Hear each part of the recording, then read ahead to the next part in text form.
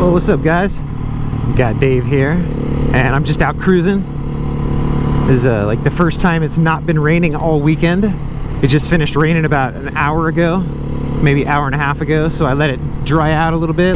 It's been raining for most of the weekend, so I've just been chilling. It's funny, I was going past that gas station back there, and uh, I was thinking about, I just saw a video, and this guy was talking about, he goes, like things that you'll never hear a motorcycle rider complain about. And one of the things was uh, you'll never hear a motorcycle rider complain about the price of gas. You'll never hear him be like, "Oh, did you did you see it just went up to like four bucks a gallon or whatever?" Like you'll never hear. Go for it. Like this bike, for example, I can go like 75 miles, almost 80 miles on two gallons of gas. And that's, dude, that's gnarly, dude. That's better than any hybrid at least as good as any hybrid. 40 40 miles per gallon around town that's pretty good.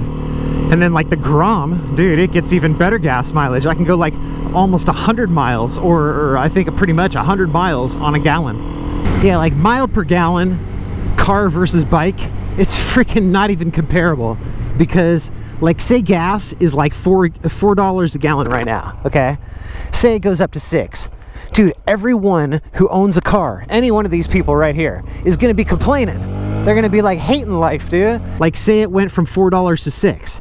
All of a sudden, it's like instead of paying $20 to go somewhere, you gotta pay $30 to go somewhere. It's like, dude, that's a lot of money, man. You know, like all of a sudden, you're like spending a lot of money to fill your freaking car up. But all that means to me on a bike like this, or on really any bike, you know, is that it's gonna cost $6 to fill it up instead of four dollars to fill it up. You know that's all that it, you know that's it's really not that big of a difference. You know the difference between four dollars and six dollars is not a big difference.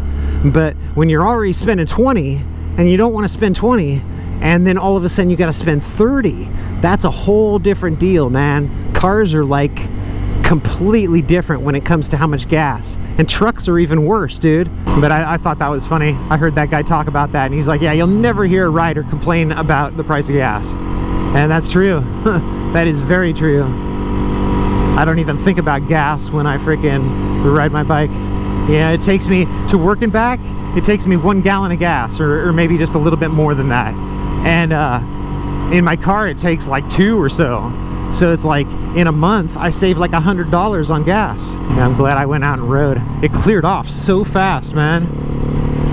It's like the last of the clouds right there. I mean, you could tell it's still kind of wet out, but it cleared off and dried off so fast, dude. But anyway, that's what I had to say about that.